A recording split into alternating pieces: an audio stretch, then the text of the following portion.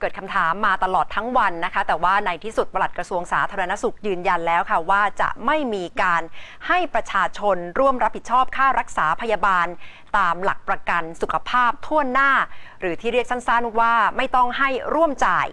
แต่ถ้าย้อนกลับไปโครงการที่จะให้ประชาชนร่วมจ่ายเกิดขึ้นในทุกยุคทุกสมัยนะคะสำหรับอดีตรัฐมนตรีว่าการกระทรวงสาธารณสุขท่านหนึ่งก็ระบุถึงเหตุผลว่า ประชาชนไม่ควรจะต้องเข้ามาร่วมจ่าย ติดตามรายงานจากคุณกิติศักดิ์พัฒสวรินค่ะ ปัญหารายงานการประชุมของกระทรวงสาธารณสุข ที่มีการเสนอนโยบายต่อรองหัวหน้าคณะรักษาความสงบแห่งชาติ เมื่อวันที่ 31 พฤษภาคมที่ผ่านมา มีแนวคิดที่จะให้ประชาชนในระบบหลักประกันสุขภาพทั่วหน้า ร่วมจ่ายค่ารักษาพยาบาล ถูกกระแสคัดค้านไม่เห็นด้วยกับนโยบายดังกล่าวเพราะถือเป็นการซ้ำเติมให้เกิดภาวะการล้มละลายในครัวเรือน แนวคิดการร่วมจ่ายระบบหลักประกันสุขภาพทั่วหน้า เกิดขึ้นตั้งแต่มีโครงการนี้เมื่อปี 2545 โดยให้ประชาชนร่วมจ่ายในอัตรา 30 บาท แต่การร่วมจ่ายเพิ่งมาถูกยกเลิกเมื่อปี 2549 สมัยนายแพทย์มงคลณสงขลาเป็นรัฐมนตรีว่าการกระทรวงสาธารณสุข ซึ่งขณะนั้นเห็นว่าการจัดเก็บในอัตรา 30 บาท ถือเป็นสัดส่วนที่น้อยมากและนโยบายหลักประกันสุขภาพทั่วหน้า ถือเป็นสวัสดิการที่รัฐต้องจัดให้กับประชาชน เนื่องจากประชาชนจ่ายภาษีอยู่แล้ว แต่ถ้าสามารถควบคุมค่าใช้จ่าย ระหว่างสำนักงานหลักประกันสุขภาพแห่งชาติ หรือสอปสชในฐานะผู้ซื้อบริการกับกระทรวงสาธารณสุข ฐานะผู้ให้บริการได้ ปัญหาการขาดทุนของสถานพยาบาลจะไม่เกิดขึ้น เพราะงั้นเห็นว่ามันมันจะต้องมีการทำให้มันเกิดความสมดุลทั้งเงินที่จ่ายจากสปสช และไอ้ต้นทุน ผู้ให้บริการที่จะต้องให้บริการ จริงๆ แล้วเนี่ยหน่วยงานทั้งผู้ให้บริการทั้งผู้ที่จ่ายเงิน มันก็คือหน่วยงานเดียวกัน ส่วนสาเหตุที่ต้องแบ่งแยกการบริหารจัดการ และบริหารงบประมาณระหว่างกระทรวงสาธารณสุข กับสปสช อดีตรัฐมนตรีว่าการกระทรวงสาธารณสุขบอกว่า แท้จริงแล้วไม่ได้เป็นการแบ่งแยกการบริหารออกจากกัน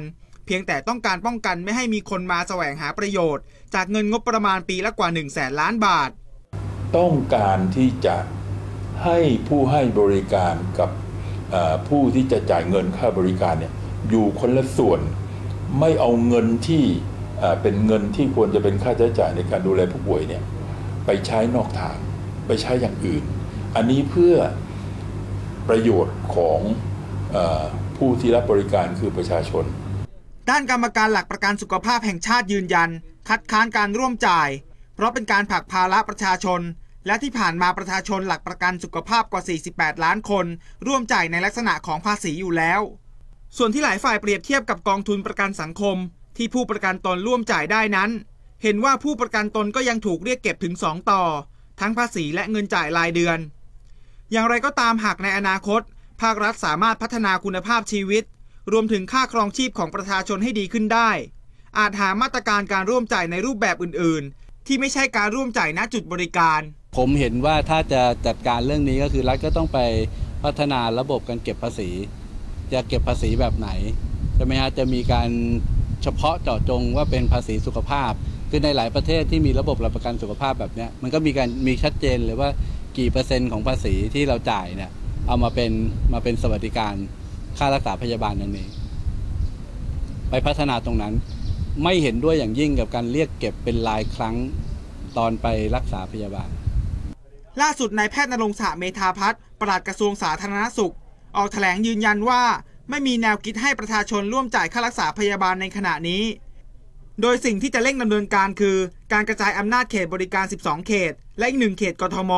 เพื่อจะใส่งบประมาณ บุคลากร ทรัพยากรต่างๆ รวมทั้งพัฒนาศักยภาพโรงพยาบาลแต่ละระดับ ให้เท่าเทียมกันในทุกๆ เขตบริการ ประชาชนเข้าถึงได้สะดวก ลดความเหลื่อมล้ำและความแออัด รวมถึงการปฏิรูประบบการเงินการคลัง โดยเตรียมหาลือกับสปสช ในการบริหารงบประมาณ และจัดสรรไปยังหน่วยบริการสาธารณสุข